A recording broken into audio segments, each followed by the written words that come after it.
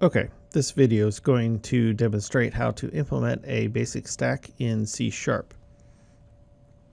A reminder, a stack is a data structure that is composed of nodes where all operations take place from the top of the stack. So when we implement this in C Sharp, we're going to implement uh, three different classes. Uh, the first class is going to be the overall stack management class. This is what's going to implement the logic of the stack. We're also going to implement a node class, which is going to store the uh, data and linking item for the uh, for the node.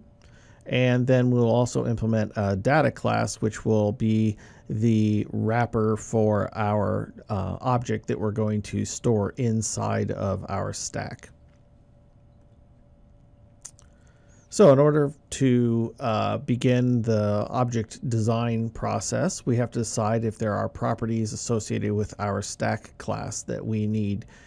And overall, the stack really just needs to maintain one piece of information, which is where is the top of the stack. So we will have a property for our stack that is a reference variable to a node. Uh, effectively, this is points to the very first node in our uh, stack. The methods we're going to implement are effectively an add method, a remove method, and there's also a unique thing with stacks. It's called peek, which uh, allows us to look at the top item on the stack but not remove it from the stack. So these will be implemented as the methods push, pop, and peek, which are the traditional names for the um, for those processes for a stack.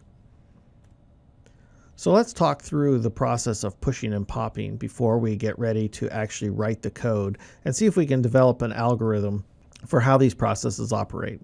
So here I have before you an empty stack. It is a top that points to nothing or null. This is the state that the stack would be in when it is first created. So if I want to add something to the stack, the first thing I need to do is I need to instantiate a node that is going to uh, be my new uh, item on my stack. So if I instantiate a node, I'm going to end up with a pointer to that node, and we'll call that pointer temp node. And so this points to our brand new node, and I would put in the data item uh, for that particular node. And the next pointer of this node is pointing to null. Uh, it doesn't point anywhere in order to attach this to the stack, I am going to need to move my top pointer to point to the same thing that temp node. So I assign top to temp node. So now the node is being pointed to by both top and temp node, which means I can get rid of temp node and top can now successfully point to my new node. The thing to remember on all these data structures is you always have to make sure that something is pointing to the object or else it's lost. That is a special case where the original top is empty. So from then on, whenever we add something to the uh, list, or I mean the stack, there's already going to be uh, an item in it, which means that we can't lose that previous item or all previous items. So what we will do is we will attach the next of our new node to the top of uh, the stack. So when I instantiate this temp node, I'm going to point the temp node.next to wherever top is located. Now, that node is still attached, so I can move top safely and I still can get to that next node. So I move top, pointing it to temp node like we did before. I now have two things pointing to the new top of the stack, so I no longer need temp node. I can now use top to point to the new node that we just created. So here you can see that both of these nodes are accessible to us, we still know where they are, uh, but we don't necessarily have something that directly points to all nodes in the stack. So our algorithm would be for pushing or adding to the stack is we create a new node reference called temp node and we check to see if the top is null and if it is, then we just set top equal to temp node. If the top is not null, then we also need to take the uh, pointer of temp node.next and point it to or set it equal to the top reference variable. and then we can move top. So the opposite of pushing is popping. How do we get an item out of the list or the stack? I'm sorry, I keep calling it a list. It's a stack. In our case, how do we get that top item off of the stack? So we point a new pointer to it, which we'll call popped. And we can now, since we have a new pointer pointing to that object, we can now move top to the top dot next. In other words, go down one in the list because this top one, I keep saying list, go down one in the stack uh, because the top one is coming off. So the next item in the stack is now going to be the new top. Now that I have a the popped pointer uh, pointing to this node that has been released, I can disconnect it from the stack by setting the next pointer of popped to null. So now I have a pointer that points to my new object that's been removed from the stack, and I have the stack still pointed to by top. This process would be repeated as I pop things off the stack. So popping is set a new reference to the uh, set the popped reference to top, then set top to top dot next. That moves down one in the stack, and then set the popped dot next to null so that it is no longer attached to the stack. Those are our two main methods, and we are going to jump over to Visual Studio and implement this in C Sharp. Okay, here we have a little uh, C Sharp program that we're going to use to demonstrate the building of our stack object. And uh, in this program, I have created the uh, data item class, the stacks class, and the node class. And we will fill in the details for these items uh, in order to build our stack. So here on the data item, I'm just going to use this as a wrapper for whatever data I might want to store in my um, node. So uh, let's do something simple like put in just a string. So we're just going to use public uh, items here. So I'll do a string and we'll call this name. And to make this a little bit more interesting, let's also make it a composite item and say that we also have a um, string and we'll put that in as city. So there we have a couple properties that we're going to be storing for this particular object in our node. So we'll instantiate copies of this data item class.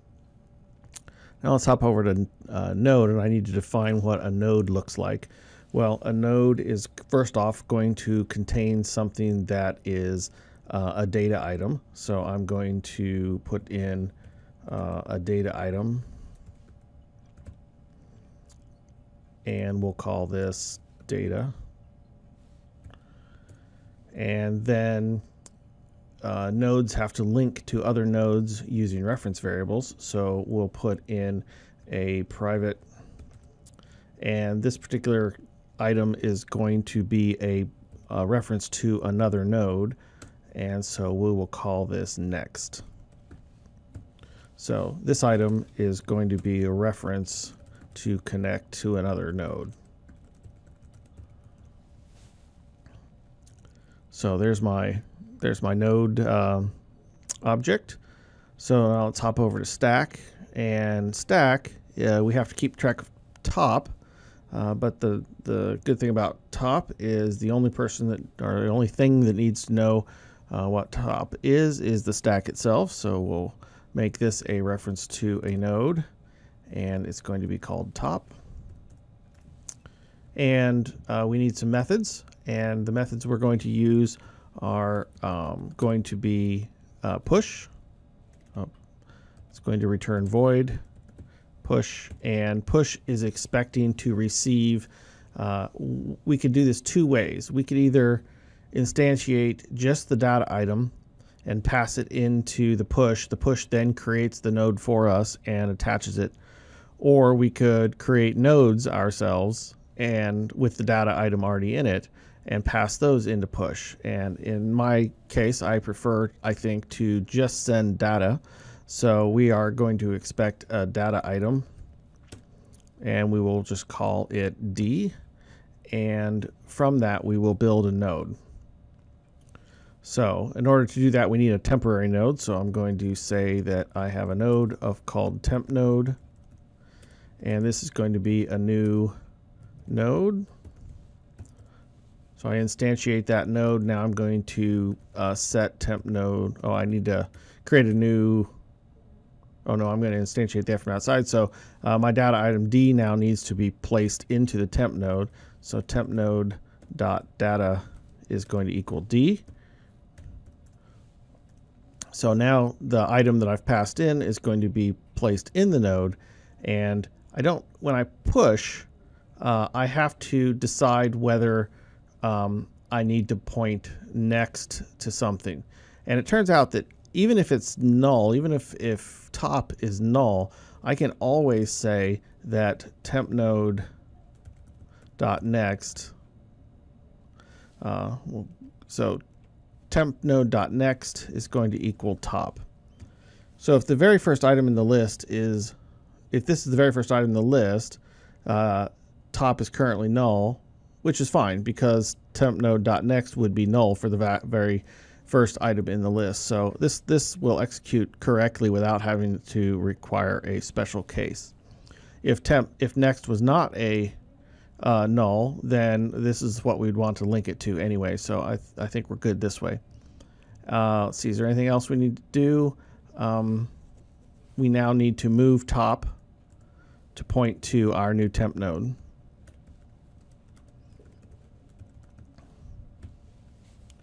So we've completed our algorithm for push. Let's uh, work on pop. So uh, pop is going to be a function that's going to return something to us, and the thing it's going to return is a data item. And but it doesn't expect anything because popping only ever takes place by looking at the top item on the on the stack. So okay, so we need to uh, test to see if there's anything in the list or the stack to even be popped out. So I'm going to start off with a test for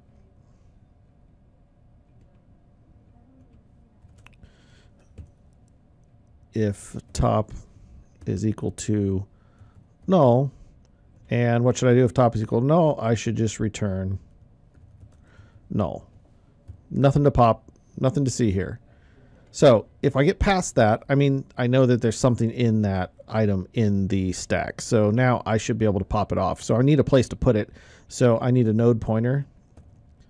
Uh, actually, I'm, yeah, sure. I need a node pointer. Uh, so I'm going to call this popped. And it's going to equal top. Because that's the one that's going to be coming off. And in our algorithm, I now need to move uh, top to point to where um, top.next points to. So if there's another item in the stack farther down, I now need to move top down one. So top.next points to the next item in the stack if it exists. If not, it will be null, which will indicate that the stack is now empty. So top will take on that value. So we're all set there. And uh, now that that item is no longer, the one pointed to by popped is no longer attached to the list, I want to clear out that, uh, that next link that it might have. So I would say popped.next is equal to null. This way, uh, if I'm throwing away stuff later, there's not some pointer that's left around pointing to it uh, so that garbage collection can take care of getting rid of those uh, unused objects. And then uh, finally, I need to return back the answer, the data item that's contained inside this popped item. So I would return back to the call the uh, popped dot data and there we go. Pop is complete. Next thing we need to do is we need to put together the uh, peek uh, function. And remember, peek is designed to give you a copy of the data in the top item without removing it from the stack. So it's fairly simple. We just need to return the uh, top top dot data. And there's peek. So our class has been built. So what we want to do now is jump over to our main program and test it out. So we'll put in some test code here. You can see that uh, basically I create a stack and a data item that I'm going to use. I push a couple things on the stack here And you'll notice that I'm using an inline um, constructor here to uh, construct the object and push it onto the stack. So I had to add a constructor over here to my data item class in order to accept those two inputs.